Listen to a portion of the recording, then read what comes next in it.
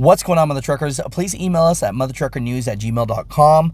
I'm having uh, so many people, uh, plus a Wyoming DOT, telling me to let all truck drivers know that Wyoming is pretty much going to be closed for the next two days. So let's get into this right here.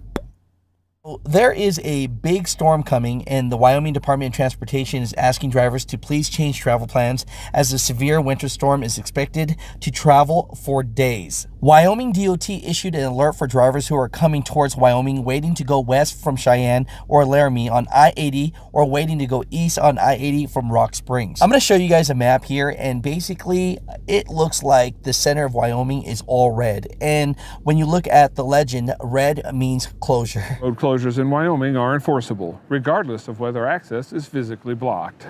In the state of Wyoming, we have two types of road closure signage. There are physical gates, barriers that drop down, but we also have the road closed sign with flashing red lights.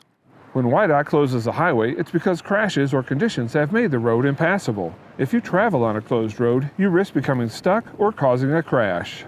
And we're going to have to initiate an emergency response crew other than the highway department. We're talking about search and rescue. It's going to take them time to mobilize. They're going to have to get equipment that can get through a blizzard.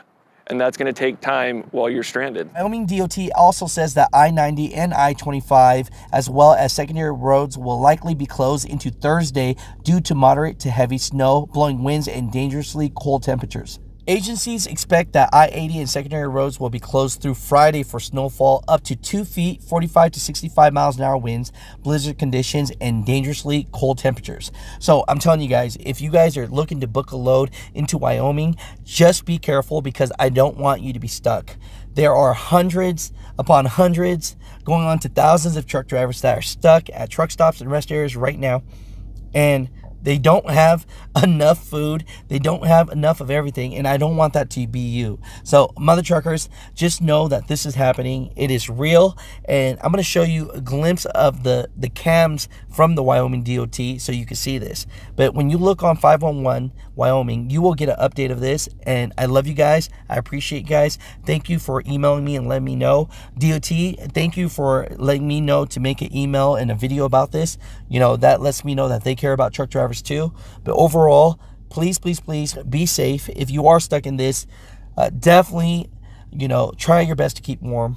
Um, all I gotta say is when you're tra- traveling wintertime, I 80, you know, uh, in Wyoming, you need to make sure you have at least a week's worth of food. Mother truckers, comment down below. But yeah, just want to show you what's going on, the truth that's happening out there right now. So.